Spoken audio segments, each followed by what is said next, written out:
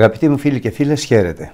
Ευχαριστούμε πάρα πολύ το Θεό γιατί και σήμερα μας αξιώνει να είμαστε μαζί σε αυτή την εκπομπή «Απαντήσεις μέσα από το Λόγο του Θεού». Είναι η εκπομπή που στις δικές σας ερωτήσεις, κρίσεις, σχόλια, απορίες, οποιασδήποτε απόψεις και αν έχετε και μας στέλνετε στη διεύθυνση που τώρα βλέπετε στην οθόνη σας, εμείς με τη χάρη του Χριστού μέσα από το Λόγο του Θεού και μόνο μέσα από το Λόγο του Θεού θα προσπαθούμε να τις σχολιάζουμε. Θέλουμε μια φορά ακόμη να πούμε και να επιμείνουμε ότι δεν διεκδικούμε την αυθεντία στη γνώση των γραφών, αλλά ούτε και θεωρούμε τους εαυτούς μας ότι είναι διδάσκαλοι. Αντιθέτως μάλιστα θεωρούμε ότι είμαστε μαθητές και όλοι μαζί μέσα από το Λόγο του Θεού ελπίζουμε και θα εξητούμε να μας διδάσκει ο Χριστός δια Πνεύματος Αγίου. Σήμερα αρχίζουμε με μία ερώτηση του Μανώλη από τη Νέα Σμύρνη. Γράφει «Στο κατά Ιωάννη Ευαγγέλιον θήτα 2 ρωτάνε οι μαθητές του Ιησού ποιος αμάρτησε αυτός ή οι γονείς του για να γεννηθεί τυφλός; Όταν αρρωσταίνει δηλαδή ένα παιδί με μία ανίατη ασθένεια μπορεί να φταίνει οι γονείς του που έχουν αμαρτήσει; Και τι μπορεί να γίνει γι' αυτό; Ναι, είναι μία ερώτηση που έκανε μαθητάς του και κρύβει πάρα πολλά ερωτηματικά και, καλό, και καλώς αγαπητέ Μανώλη την έθεσες για να βρούμε την ευκαιρία και εμείς να διαβάσουμε και να, να σχολιάσουμε. Διαβάζω από το ένα το κεφάλαιο, θήτα κεφάλαιο του κατά Ιωάννη Ευαγγελίου και το δύο εδάφιο. Και ρώτησαν αυτόν οι μαθητές αυτού λέγοντες Ραβί, τι σήμαρτεν, αυτός ή οι γονείς αυτού ώστε να γεννηθεί τυφλός; Απεκρίθη ο Ιησούς, ούτε αυτό σήμαρτεν, ούτε οι γονείς αυτού, αλλά δια να φανερωθώσει τα έργα του Θεού εν αυτό. Η απάντηση λοιπόν του Κυρίου μας του Ιησού Χριστού στην ερώτηση είναι απλή. Αυτή η αρρώστια δεν προήλθε από αμαρτία, ούτε δική του, ούτε των γονιών του, αλλά αντιθέτως ο Θεός την έφερε, την επέτρεψε για να φανερωθούν τα έργα, όπως ακριβώς λέγει, του Θεού εν Χριστώ Ιησού μέσα από Αυτόν. Στην ερώτηση όμως αυτή, ποιος αμάρτησε αυτός οι γονείς του, δημιουργούνται πολλά ερωτηματικά όπως είπαμε και προηγούμενα. Το πρώτο ερωτηματικό είναι, εάν αυτός γεννήθηκε τυφλός, πώς είναι δυνατόν να αμάρτησε και να είναι αποτέλεσμα της δικής του αμαρτίας. Πολλοί μάλιστα εδώ α, συνδυάζουν αυτή την ερώτηση και απάντηση του Κυρίου μας με την άποψη ότι υπάρχει μετεμψύχωσης και μετενσάρκωσης. Δηλαδή σε προηγούμενες ζωές πιθανόν να είχε αμαρτήσει αυτός ο άνθρωπος, έτσι υπενήσονται κάποιοι άνθρωποι και γι' αυτό το ερωτούν οι μαθητές αν ε, αμάρτησε αυτός, δηλαδή σε κάποια προηγούμενη ζωή του. Σε αυτό ο λόγος του Θεού, αγαπητοί μου φίλοι και φίλες, είναι κατηγορηματικός και θέλω να το διαβάσουμε. Είναι στην επιστολή προς Εβραίους, όπου ε, με ένα εδάφιο ε, καταρρύπτει όλες τις απόψεις αυτές περί μετεμψυχώσεως ή μετεσαρκώσεως, τις οποίες αναφέρουν πολλές θρησκείες και φιλοσοφίες. Λέγει λοιπόν στο 1065 ο λόγος το, συγγνώμη, στο προς Εβραίους επιστολή, σελίδα 1065, κεφάλαιο ένατο και εδάφιο 27. Και καθώς είναι αποφασισμένο εις τους ανθρώπους άπαξ να αποθάνωση, μετά δε τούτο κρίσης. Ε, εάν θεωρούμε λοιπόν, που θεωρούμε εμείς τουλάχιστον, ότι ο λόγος του Θεού είναι αψευδής, είναι η απόλυτη αλήθεια, είναι θεόπνευστος και η γραφή δεν δύναται να αναιρεθεί και δεν έχει λάθη η γραφή σαν λόγος Θεού καθώς είναι και ενεργείται ανάμεσα στους πιστεύοντες σαν λόγος Θεού καθώς και ενεργείται τότε μέσα από αυτό το εδάφιο μας απορρίπτει ο Θεός ε, κάθε έννοια, σκέψη, σοφία ή φιλοσοφία ή γνώμη ανθρώπινη περί μετεσαρκώσεως και μετεψυχώσεως καθώς λέγει ότι είναι αποφασισμένο από το Θεό εις τους ανθρώπους μια φορά να πεθαίνουν, δεν έχουν πολλές ζωές οι άνθρωποι, μια φορά να πεθαίνουν μετά δε τούτο κρίσης. Ο άνθρωπος δηλαδή μπαίνει πια στην κρίση του Θεού. Άρα λοιπόν η άποψη ότι αυτός αμάρτησε σε προηγούμενες ζωές που πολλές φορές κάποιοι ισχυρίζονται κατά το Λόγο του Θεού και εμείς πιστεύουμε στο Λόγο του Θεού ότι είναι η υπερτάτη αλήθεια γιατί τούτο είναι γεγραμμένο καθώς επίσης είναι γεγραμμένο ότι η Γραφή δεν δύναται να αναιρεθεί. Εμείς λοιπόν πιστεύονται στο Λόγο του Θεού στην δύναμη του Λόγου του Θεού στο Λόγο του Θεού που είναι η δύναμη του Θεού προς σωτηρία εις πάντα το πιστεύοντα το απορρίπτομεν απολύτως Δηλαδή απορρίπτωμεν απολύτως κάθε γνώμη, άποψη, έννοια, φιλοσοφία μετεσάρκωσης και μετεμψύχωσης. Τώρα στην ερώτηση επίσης αν φταίνει οι γονείς, είναι και η δική σου συγκεκριμένη ερώτηση αγαπητέ Μανώλη από τη Νέα Σμύρνη και αγαπητοί φίλοι και φίλες. Οι αμαρτίες των γονέων ε, έχουν συνέπειε στα τέκνα τους; Και μάλιστα υπάρχει και μία παροιμία αμαρτία γονέων παιδεύουση τέκνα. Η αλήθεια είναι αγαπητοί μου φίλοι και φίλες ότι είναι γραμμένο και πάλι η γραφή δεν δύναται να αναιρεθεί στην πρώτη επιστολή προς Κορινθίους και διαβάζω από το 7ο κεφάλαιο και από το 12 εδάφιο είναι ένα άλλο θέμα αλλά μέσα σε αυτό το θέμα αναφέρεται πάρα πολύ καλά αυτό το περί αμαρτίας γονέων προς τα τέκνα. Είπε δε προς, τους, προς δε τους λοιπούς λέγω εγώ ο Παύλος ουχή ο Κύριος Εάν της αδελφός έχει γυναίκα άπιστον και αυτή συγκατανεύει να συνοικεί με ταυτού, ας μην αφήνει αυτήν. Και η γυνή της έχει άνδρα άπιστον και αυτό συγκατανεύει να συνοικεί με ταυτής, ας μην αφήνει αυτόν. Διότι ο ανήρ, ο άπιστος υγιάστη δια της γυναικός και η γυνή άπιστος υγιάστη δια του ανδρός. Επειδή άλλος τα τέκνα σας ήθελον είστε ακάθαρτα, αλλά τώρα είναι άγια. Είναι μία άποψη του Ευαγγελίου πολύ σημαντική που λέγει ότι τα τέκνα των Αγίων είναι Άγια αλλά των αμαρτωλών είναι ακάθαρτα. Μάλιστα, ο Απόστολος Παύλος λέγει και κάτι άλλο. Αν ένας από το ζευγάρι ή ο άντρας ή η γυναίκα ε, είναι Άγιος, είναι αναγεννημένος γιατί Άγιος δεν είναι αυτός που είναι στον ουρανό που αγιάστηκε από τους ανθρώπους μετά από τόσα χρόνια θανάτου του αλλά Άγιος είναι αυτός που ζει στη γη Πάντοτε ο Κύριος μας και το Ευαγγέλιο του Χριστού αναφέρει προς τους Αγίους τους όντας εν Κορίνθο, εν Φιλίππης κλπ. Άγιος λοιπόν είναι ο ξεχωρισμένος, αυτό σημαίνει Άγιος, ο ξεχωρισμένος από τον Θεό. Δηλαδή ο Θεός τον παίρνει και τον βγάζει μέσα από το σκοτάδι και το φέρνει στο θαυμαστό αυτού φως, διά του Ιησού Χριστού εν πνεύματι Αγίο.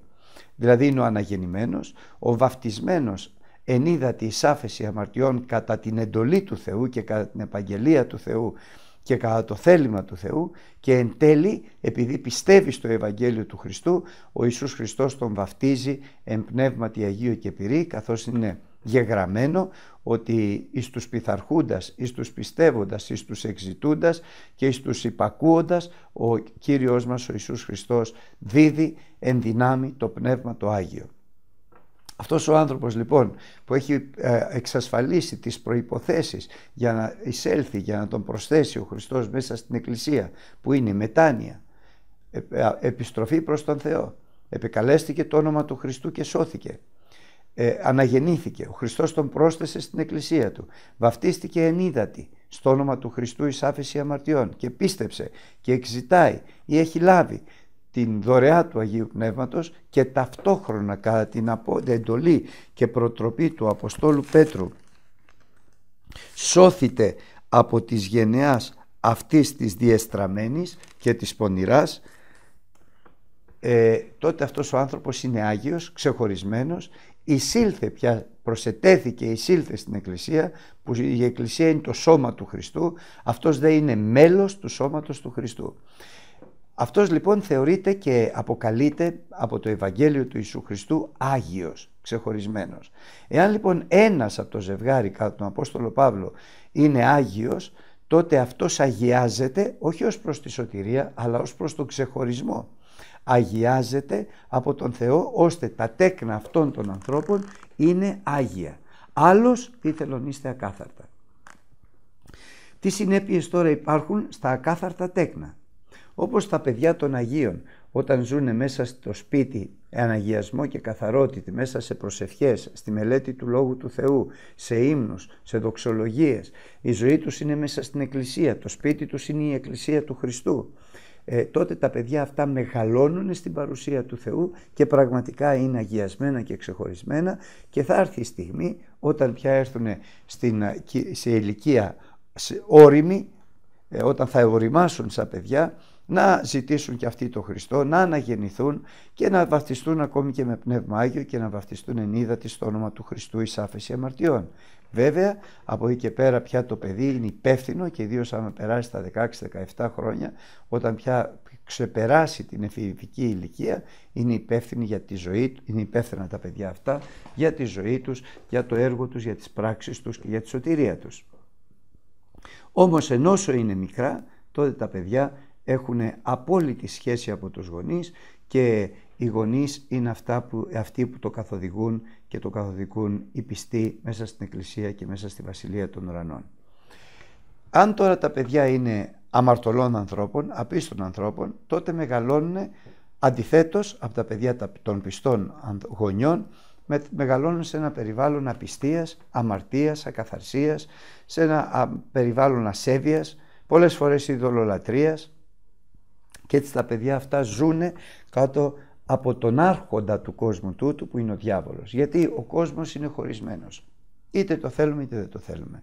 Από τη μια μεριά είναι ο λαός του Θεού, η Εκκλησία του Θεού, όπου άρχον και βασιλιάς και κεφαλή της Εκκλησίας είναι ο Χριστός. Ο Χριστός είναι που διδάσκει, ο Χριστός είναι που καθοδηγεί, το Πνεύμα το Άγιο είναι που οικοδομεί και έτσι ο λαός του Θεού καταρτίζεται όπως λέγει η Γραφή από τον ίδιο τον Χριστό προς ευλογία και εις απόλαυση ευλογίας. Από την άλλη μεριά είναι ο κόσμος.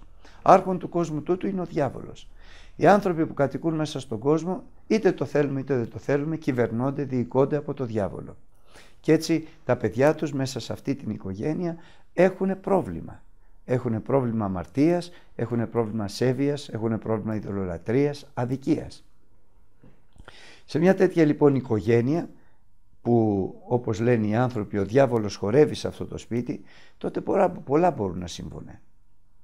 Ε, θυμηθείτε ότι ε, ο διάβολος είναι αυτός που καθοδηγεί τους ανθρώπους απίστων όντων με τύφλωση των οφθαλμών του νοός τους τύφλωσε τους, ε, ε, το, το νου, ε, τυφλώνει το νου, οδηγεί τους ανθρώπους στην απώλεια. Άρα λοιπόν η απώλεια είναι κάτι δεδομένο από τη Γραφή η οποία αρχίζει από εδώ, η κόλασης.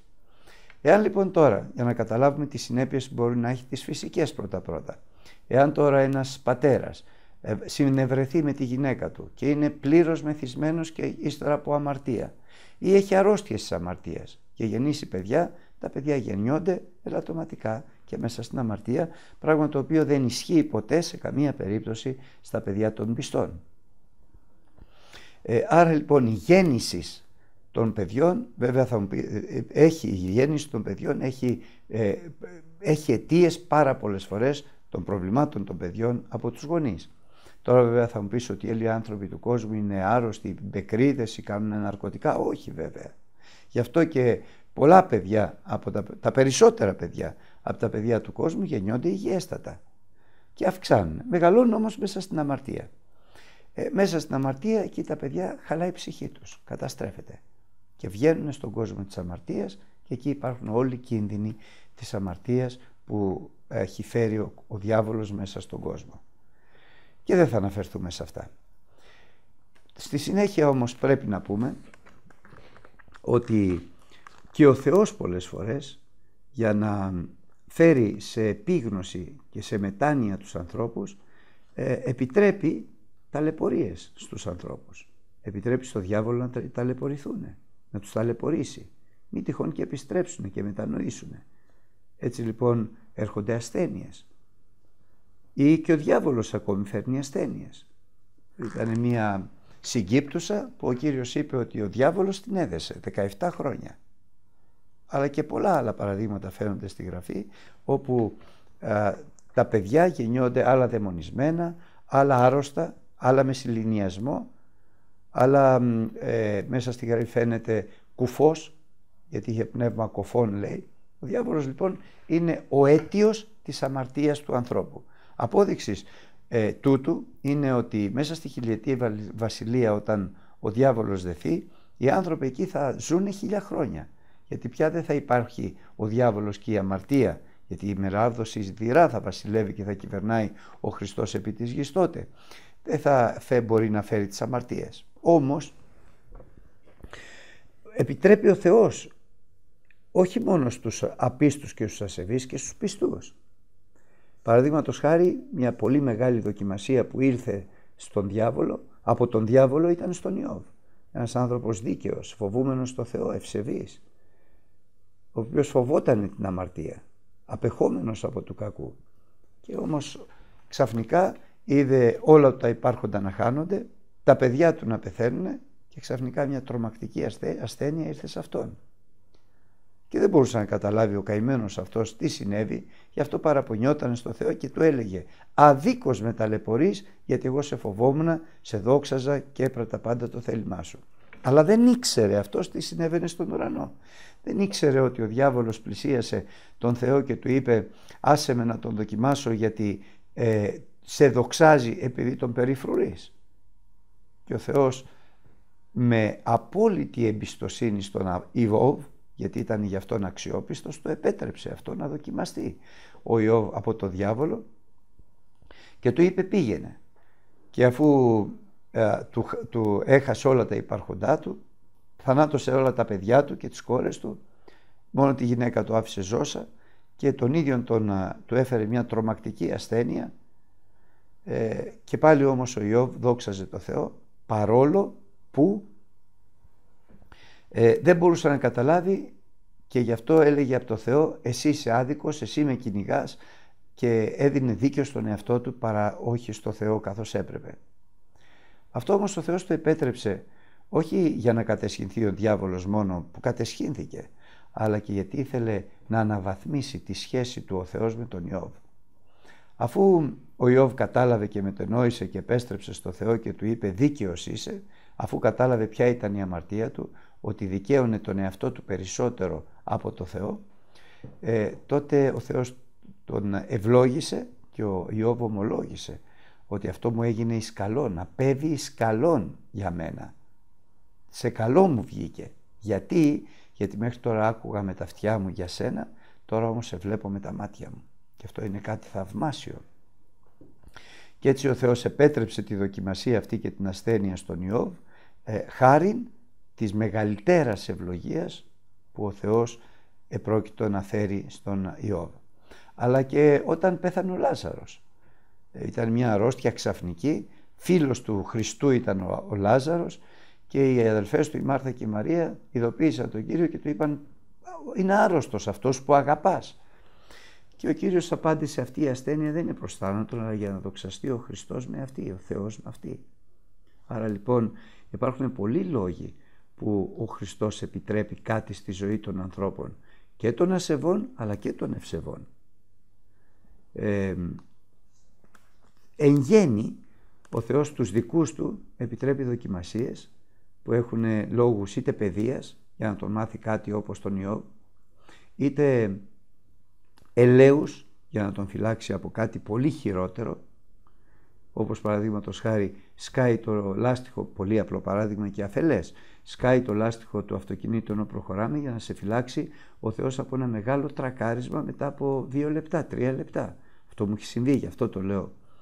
Ε, και τρίτον για την καρποφορία, για να δώσει καρπό πολύ. Και η αρρώστια του Λαζάρου έγινε με αυτό το, για αυτό το λόγο. Γιατί η, αστε, η Ανάσταση του Λαζάρου, η οποία προέκυψε από την αρρώστια και το θάνατο του Λαζάρου, έκαμε τους ε, Ισραηλίτες να πιστέψουν και να μαζευτούν όλοι την πρώτη μέρα εκείνης της εβδομάδος, της τελευταίας εβδομάδος της ε, θυσίας του Χριστού και να φωνάζουν ευλογημένος ο ερχόμενος εν ονόματι Κυρίου, στον Κύριο τον Ιησού Χριστό. Όμως και ο Παύλος ε, ασθένησε. Και μάλιστα με μια ασθένεια πολύ σοβαρή ο ίδιος λέγει ότι άγγελος σατάν με ραπίζει και προσευχήθηκα μια φορά στον Κύριο, δυο φορές στον Κύριο αλλά δεν μου απάντησε. Και προσευχήθηκα και τρίτη φορά στον Κύριο. Και Ο Κύριος μου παρκεί είσαι η χάρης μου. Μείνε στη χάρη μου, η οποία σε λέει, σε ευλόγησε, σε, σε δόξασε. Και γιατί Κύριε το επέτρεψες αυτό, για να απαντάει ο ίδιος ο Απόστολος Παύλος όπως το εξήγησε ο Θεός, για να μην υπερηφανευθώ από τις πολλές αποκαλύψεις που μου χάρισε ο Κύριος. Άρα λοιπόν για το έλεος αυτού ο Θεός επέτρεψε στον Απόστολο Παύλο εν μια τόσο μεγάλη δοκιμασία και ασθένεια, η οποία μάλλον κατά πάσα πιθανότητα είναι ασθένεια. Οι ασθένειες βέβαια έρχονται για λόγους που δεν τους ξέρουμε πολλές φορές, όπως ο Επαφρόδιτος. Ο Επαφρόδιτος λέει στην επιστολή προς Φιλιππισίους, να το βρω, λέει και το όντι ο Απόστολος Παύλος, διαβάζω από το δεύτερο κεφάλαιο και το 27 εδάφιο, και το όντι στένησε μέχρι θανάτου ο Επαφρόδιτος. Αλλά ο Θεός ελέησεν αυτόν, ουχή δε αυτόν μόνον, αλλά και με δεν μιλάβω λύπην επί λύπην. Δηλαδή ενώ ο Απόστολος Παύλος είχε τα χαρίσματα των ιαμάτων και σε όσους προσευχόταν θεραπεύονταν, να τώρα ένας σύντροφός του, ένας συνοδοιπόρος του, ο Επαφρόδιτος, ένας συστρατιώτης του, συνεργός του, αρρωσταίνει μέχρι θανάτου. Και ο Παύλος και το χάρισμα δεν μπορεί να κάνει τίποτα. Γιατί, γιατί ο Θεός το θέλει. Τι ήταν το σχέδιο του Θεού, δεν ξέρουμε. Δεν τα ξέρουμε όλα. Και εδώ να πρέπει να τονίσουμε κάτι αγαπητοί μου φίλοι και φίλες. Αυτά που δεν ξέρουμε, λέει η Γραφή, είναι διπλάσια από αυτά που ξέρουμε. Και αυτά που ξέρουμε τα ξέρουμε γιατί ο Θεός μας τα αποκαλύπτει μέσα από το Λόγο Του. Γι' αυτό και τα δεχόμαστε, τα αποδεχόμαστε. Και λέει η Γραφή, όσα μας αποκαλύπτει ο Θεός, μας τα αποκαλύπτει για να τα εκτελούμε. Και όσα δεν μας τα αποκαλύπτει ο Θεός, τα κρατάει μυστικά για Αυτόν. Και αυτά που δεν ξέρουμε είναι διπλάσια από αυτά που ξέρουμε. Άρα λοιπόν δεν μπορούμε να πούμε ότι έχουμε ερμηνεία όλων των πραγμάτων ή γνωρίζουμε τα πάντα. Περιορισμένη η γνώση μας. Και μάλιστα είναι τόσο περιορισμένη και τόσο το καταλαβαίνουμε ότι είναι περιορισμένη όσο πιο πολλά γνωρίζουμε.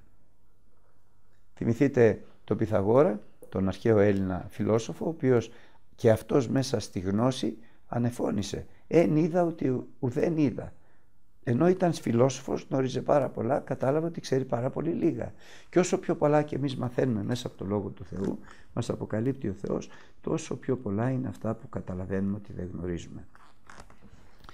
Ε, επίσης θα μπορούσαμε να πούμε, σαν συμπέρασμα, ότι την αμαρτία τη φέρνει, την ε, σαρρώστια σε εγγέννη της φέρνει η αμαρτία και αυτό φαίνεται σαν συμπέρασμα και από την επιστολή του Ιακώβου όπου αναφέρεται στο τελευταίο κεφάλαιο λέγοντας «Ασθενή της μεταξύ σας, ας προσκαλέσει τους πρεσβυτέρους της Εκκλησίας και ας προσευχηθούν επ' αυτόν, αλείψαντες αυτόν με έλεον εν το ονόματι του Κυρίου». Και ακούστε εδώ τώρα τι λέει.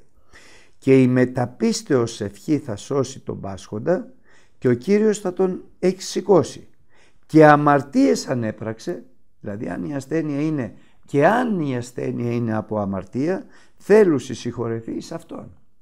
Άρα λοιπόν υπάρχουν ασθένειες που είναι από την αμαρτία, αλλά υπάρχουν και ασθένειες που επιτρέπει ο Θεός για τη δόξα Του και όπως είπαμε για δοκιμασία, είτε για την παιδεία, είτε για την καρποφορία, είτε για το έλεος του Θεού.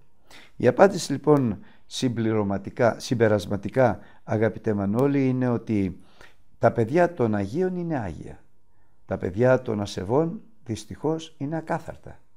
Οπότε η αμαρτία είναι πολλαπλάσια και πάρα πολλές φορές η αμαρτία φέρνει αρρώστια μέσα στο σπίτι. Ε, όχι πάντα, όχι απαραίτητα, αλλά πάρα πολλές φορές. Και η δεύτερη ερώτησή σου είναι τι μπορεί να γίνει γι' αυτό. Αυτό που μπορεί να γίνει είναι να προσευχηθεί ο άνθρωπος και να εξητήσει άφεση αμαρτιών, συγχώρεση αμαρτιών, να μετανοήσει, να επιστρέψει στο Θεό και να ζητήσει από το Θεό έλεος και χάρη για τη σωτηρία Του. Να προχωρήσουμε όμως και σε μία επόμενη ερώτηση ε, που την έχει κάνει κάποιος ανώνυμος. Τι γνώμη έχετε για το Άγιο Φως; Το Άγιο Φως εκεί στα Ιεροσόλυμα όπου λέγεται ότι ανάβει κάθε ε, Μεγάλο Σάββατο, Κυριακή Ανάσταση, την ημέρα της Αναστάσεως μόνο στην Ορθόδοξη Εκκλησία. Βασικά εγώ δεν έχω άποψη σε αυτό. Ε, ο Λόγος του Θεού μας λέει να πιστεύουμε, αλλά μέσα από το Λόγο του Θεού δεν φαίνεται. Εμείς είπαμε ότι θα απαντάμε σε ερωτήσεις μόνο μέσα από το Λόγο του Θεού. Μέσα από το Λόγο του Θεού λοιπόν δεν φαίνεται αυτό. Αντιθέτως φαίνεται στον Ιώβ και θέλω να το δούμε και αυτό ότι ε, είναι στο πρώτο κεφάλαιο του Ιώβ όπου ε, είναι στο πρώτο κεφάλαιο και στο 16 εδάφιο. Και ενώ ούτως ελάλη ήλθε και άλλος και είπε «Πυρ Θεού έπεσε εξ ουρανού» και έκαυσε τα πρόβατα και τους δούλους και κατέφαγε αυτούς και εγώ μόνος διεσώθην διανσή απαγγείλω. Φωτιά από τον ουρανό στέλνει, στέλνει ο διάβολος για καταστροφή. Όμως φωτιά από τον ουρανό στέλνει και ο Θεός. Τη φωτιά του Πνεύματος του Αγίου που φαίνεται ε, και στον Αβραάμ ενώ προσευχότανε ε, έστειλε ο Θεός φωτιά το λέει στην σελίδα 12 είναι από το κεφάλαιο ΙΕ 13 εδάφιο. Και είπε ο Κύριος προς τον Αβραάμ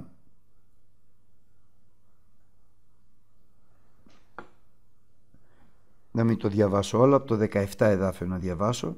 Ότε δε ο ήλιος έδισε και έγινε πνικνός σκότος, ιδού κάμινος καπνίζουσα και λαμπάς πυρός ή της διεπέρασε μεταξύ των διχοτομημένων ε, ζώων προς θυσία που είχε βάλει ο Αβραάμ. Επίσης φωτιά από τον ουρανό έπεσε και όταν ε, στον κάποιοι του βασιλιά του Ισραήλ του Ασεβούς κυνήγησαν τον Ηλία και ο Ηλίας προσευχήθηκε και έπεσε φωτιά από τον ουρανό και τους κατέκαψε. Η φωτιά δηλαδή πέφτει για ένα λόγο. Είτε γιατί ο διάβολος θέλει να κάνει καταστροφή, είτε γιατί ο Θεός θέλει να φανερώσει ε, τη δύναμή του. Και τούτο συνέβαινε βέβαια στην Παλαιά Διαθήκη. Το σημαντικό είναι ότι στην Καινή Διαθήκη δεν το βλέπουμε αυτό. Ή τουλάχιστον δεν θυμάμαι εγώ κάπου να είναι γραμμένο. Νομίζω όμως ότι δεν φαίνεται πουθενά, δεν μας καλύπτει η γραφή για τέτοιου είδους φαινόμενα.